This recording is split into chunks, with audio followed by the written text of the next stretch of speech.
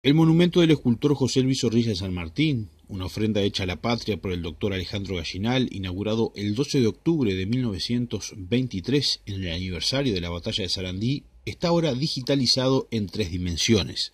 Se trata de uno de los tantos que ya están en ese registro, que lleva adelante el denominado Archivo Nacional del Patrimonio 3D, un proyecto en proceso que aspira a que Uruguay sea el primer país en digitalizar y ofrecer a uso público la réplica digital de sus estatuas y monumentos, tal como describe el mismo espacio en su sitio web.